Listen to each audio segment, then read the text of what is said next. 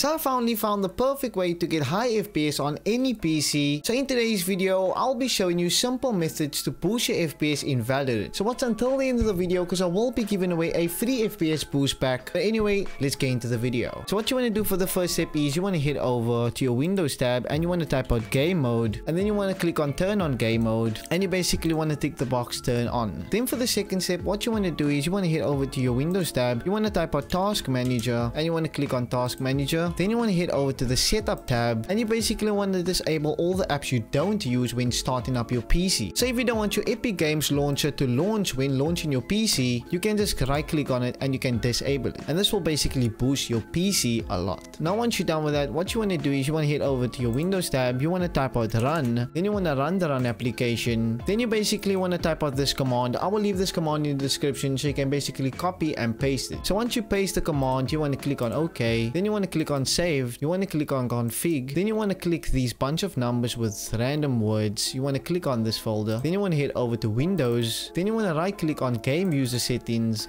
and you want to click on edit. So once you open up the file, you want to put your bUseVSync on false, make sure it's on false. Then what you want to do is you want to put your resolution size Y, you want to change it to 720p. Then you basically also want to type in 720p just here, just like that. Then once you're done with that, you want to scroll down and you will find scalability groups. You want to put your resolution quality on 90%, just on 90. And you want to put your view distance quality on 0, anti-aliasing quality on 0, shadow quality on 0, post-process quality on 0, texture quality also on 0. And you want to put your effects quality on 0. And you basically want to put the bottom two also on 0. Then once you're done with that, you want to click on file and you want to click on save. Then for the third step, what you want to do is you want to right click on your desktop. You want to click on display settings. Then you want to scroll all the way down and you want to click on graphic settings. Then you want to head over to browse. Then you want to click on local disk and you want to head over to your Riot games. You want to click on Valorant. You want to click on live. Then you want to click on Valorant.exe and you want to click on add. Then what you want to do is you want to click on options and you want to tick the box high performance and you want to click on save. Then for the fourth step, what you want to do is you want to head over to your file explorer. You want to click on local disk. Then you want to click on Riot games. You want to head over to Valorant. You want to click on live and then you want to right click on Valorant.exe. You want to head over to properties. Then you want to click on the compatibility tab and you want to tick the box disable full screen optimization. Then you want to head over to change high DPI settings. You want to tick the box override high DPI scaling behavior and you want to click on OK, apply and OK. So uh, guys, once you're done with those steps, you want to download the Valorant 100 plus FPS boost pack. I will leave a link in the description so you can basically download it. So once you download it, you want to open up the file. You want to click on PC optimizations and you want to run these files. You can also right click on these things and you can click on edit